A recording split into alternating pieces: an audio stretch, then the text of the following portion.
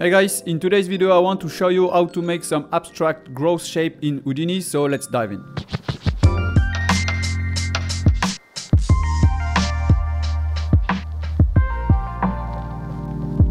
So I've created a new blank scene in Houdini and the first step like always is to add a new geometry node. So you can dive inside and now let's start by adding a first object so we can add a tube. So here you can press P to open the parameter of this node and here I will change some settings of my tube. So I will change the orientation to the Z axis and here I will increase the radius to 2 and I will increase 8 at 3 and I will increase the column number to 100. So now let's add the first clip node and here for the setting of this first clip node we can change the origin to minus 1.25 and we can change the direction to minus 1. So now let's add another clip node. So for the second clip node, we can change the settings to 0.5 on the y-axis for the origins.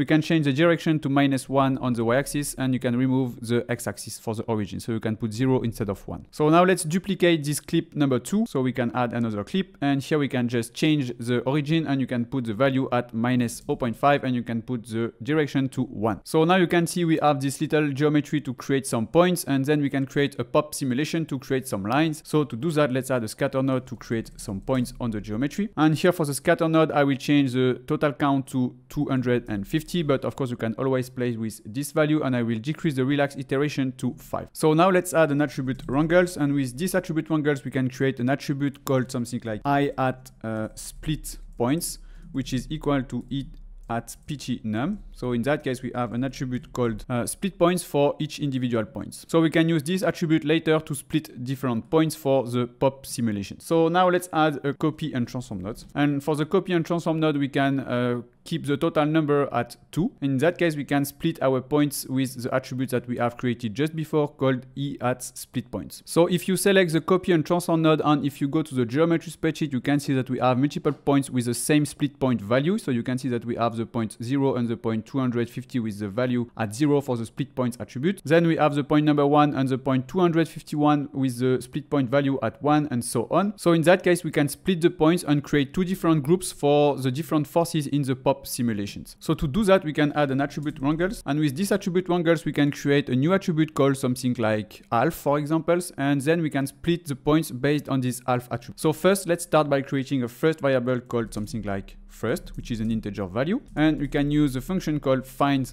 attributes value. And here we can type 0 for the first input. Let's type points, split point, which is the name of the attribute that we have created, split PTS. Then you can use the attribute e at split points, and you can type 0. So now let's create our half attribute. So let's type if at PT ptnum is equal to our first variables. Then we can set the half attribute at the value 0. So let's open the curly brackets. And we can type e at half, which is equal to 0. Now we can close the first curly brackets and then you can type else and now we can set the value for the half attribute for the rest. So we can open the curly brackets one more time and here we can type e at half is equal to 1. So don't forget to close the curly bracket here at the end. So Imagine having access to over 40 hours of exclusive Houdini tutorials, and that library keeps growing every month with brand new content. On Artilabz, you'll find in-depth Houdini tutorials covering motion design, simulations, product visualization, and more. Plus, you get access to all project files so you can follow along step by step. And right now, we're offering an extra 20% off the annual membership, on top of the 10% discount already included when compared to the monthly plan. This exclusive deal is available for the first 30 people, so don't miss out. Click the link below, your 20% discount is applied automatically. Secure your spot before it's gone. So now we have an attribute half with the value at 0 or 1. So if we are selecting the attribute wrangles here and if we go to the geometry spreadsheet, you can see that we have the value at 0 for the first half and you can see that we have the value at 1 for the second half starting at the point number 250. So in that case, we can use this attribute to split uh, into different groups to create two different forces in the pop simulation. So to do that, let's add a split node. And here on the split node for the group, we can just type at half, which is equal to 0. And here we can type points. So now we have the first half on the left, so we can add a null and we can specify this is the first half, so you can just rename it first half. And then you can duplicate the nulls and you can uh, plug it on the second output of the of the split node and you can rename it second half. So now we can create two groups based on that. So let's add a group node. So here for this first group node, you can change the group type to points and here you can put everything in this group and you can call uh, the group something like up and here you can rename it here also if you want. So now you can duplicate the group node and you can plug it here. So now we can create a second group and for this one we can call it down and you can rename the name of the group to down. So in that case we have two groups and you can create a forces for the point going up and a forces for the point going down. So now let's add a merge node. So select these two groups and plug them to the merge. So now let's add another attribute wrangles and for this one we can create an attribute for each individual point. So let's type e at pt id which is equal to e at pt num. So now we have an attribute and later we can use this attribute to create some lines based on the pop uh, simulations. So now let's add the popnet. So now you can dive inside the popnet and here it will be very easy. So here for the pop source you can just select, uh, for the emission type you can select all points. In that case it will emit from every point on the SOP. And now let's create some forces. So let's add a pop axis force. So you can plug that to the pre-solve input of the pop solver. So here you can target the groups. So you can just enable these options to target different groups. So in our case, we have created two groups on the SOP. So we have the group called up and we have a group called down. So let's select the first group, which is up. So here we can change some settings for the shape of the pop axis force. So let's change the directions. So instead of y-axis, we can put the direction on the z-axis. And let's put the radius at 4 and let's put the 8 at something like 3.2. So now let's go to the speed tab and here for the orbit speed, let's keep it at 1, but of course you can play with different value if you want. For the lift speed, you can put the value at 1 and, for the suction speed, you can put the value at 0.1. So now we have our first forces for the group called up. So let's see the result of the simulation now. So you can see that we have the particles going up. So now let's duplicate this pop axis force and let's plug it here. And here for the second pop axis force, we can just change the group selection. So instead of up, we can select our group called down. And here we can go to the shape and we can reverse the axis direction to minus one. So now let's see the result. And you can see that we have the particles going in that way. So now let's add a pop drag. And here with the pop drag, we can play with different value, but in my case, I will put the value at 0.1. So now it's pretty much it for the pop simulation. It's very easy. So now you can go back to the SOP level by clicking on the geometry icon here. So now let's create some line based on this particle simulation. So now we have only some points. So to do that, let's add an add SOP. And here with the add, you can just select polygons and here you can click on uh, by group and here you can select an attribute and the attribute we need to create the line is the PTID attribute that we have created before the pop simulations.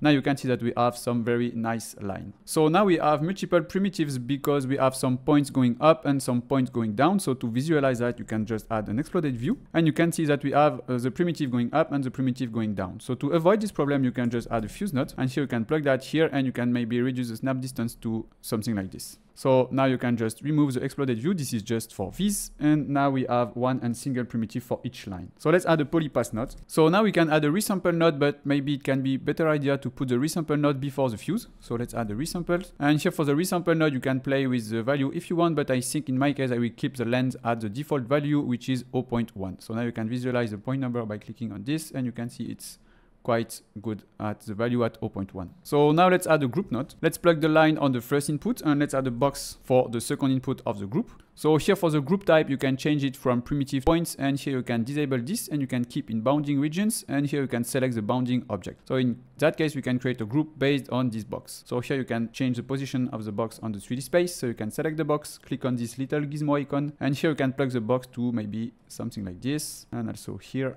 you can just change the size to select some points.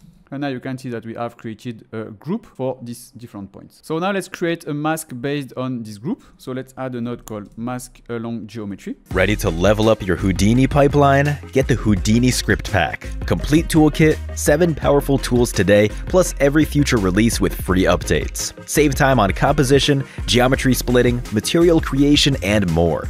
YouTube subscribers get 50% off with code TOOLKIT. Click the link in the description and transform your workflow today. So here you can visualize the mask by clicking on the information tab and you can visualize the mask attribute. So you can just enable this one. And here for the start points, you can select the group that we have created just before. So in my case, it's called group one. And here you can change the radius value and you can put the radius at something like 15. Of course, you can always place with this value if you want. And you can select these two dots and you can change the type to linear. So now let's create a new attribute. So let's use the MOPS shape fall off. You can use this one for the color, so it's just optional. So here to visualize the MOPS shape fall off, you can click on preview fall off and you can disable this. And now you can select the gizmo and you can put the MOPS shape fall off to maybe something like this. So now you can just increase the scale on the z-axis to maybe here. So in that case, we have the value from 0 to 1 and you can use that for the color if needed. So now we can create a color based on the MOPS fall off attribute. So to do that, let's add a color node. And here on the color node, you can change change the color type to ramp from attributes. So in that case, we can create a ramp from the mops fall off attributes. And here I will select my attribute, which is called mops fall off, and I will select the preset called plasma. But of course, you can play with different color if you want. So now let's add a soft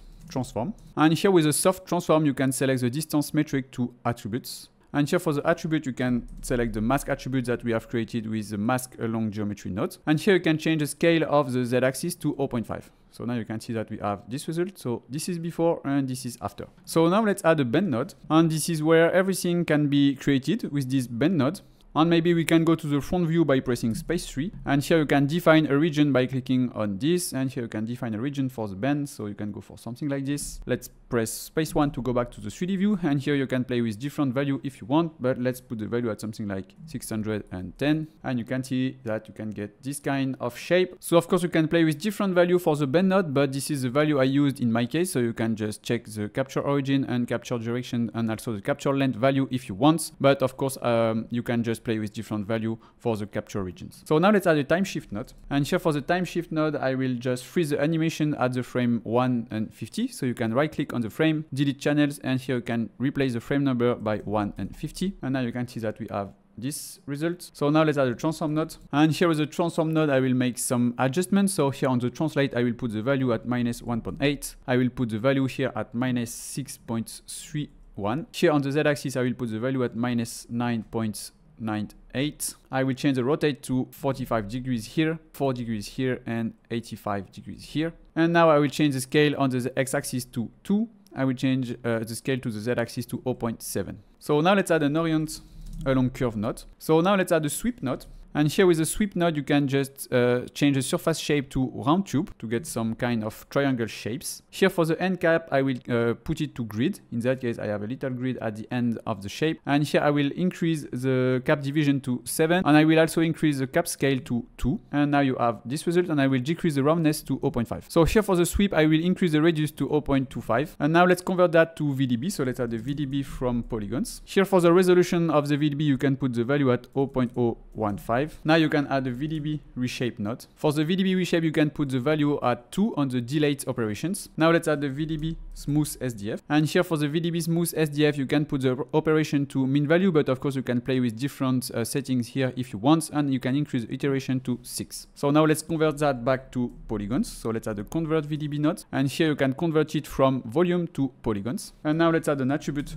transfer. So we can transfer the color from the sweep node to the VDBs. So let's plug that to the first input of the attribute transfer and let's plug the sweep to the second input of the attribute transfer. And here you can uh, select your maybe mops fall off and also color attributes. So now you can see the result of the color on the VDB. So let's add an attribute blur. Now you can blur the color attributes and also the mops fall off. So let's select the attribute colors and also mops fall off. And here for the settings of the attribute blur, it's up to you, but you can increase the blurring iteration to let's say 500. And here you can put that to proximity and you can disable the pin border points. So now you can see that we have something very smooth. So let's add a normal node. Let's put the normals on points and let's select the face area. So now let's add the smooth node and you can smooth the positions and also the normal attributes. So here you can select the attribute positions and you can select the attribute normals. So now if you want, you can add that to file cache and here you can rename it something like row shape. And here you can just uh, put that in cache so you can click on save to disk. But for now, we don't have any animations on our growth. So here you can add uh, an animation before the sweep node. So to do that, we have our line here after the orient along curve. So to add some animation, you can add the carve node. So here you can plug that to the carve. And here you can just play with the first U and second U. So maybe the first U, you can keep it as it is. And you can just disable this. And you can enable the second U if you want. And you can add a keyframe to add some growth. So maybe you can start the growth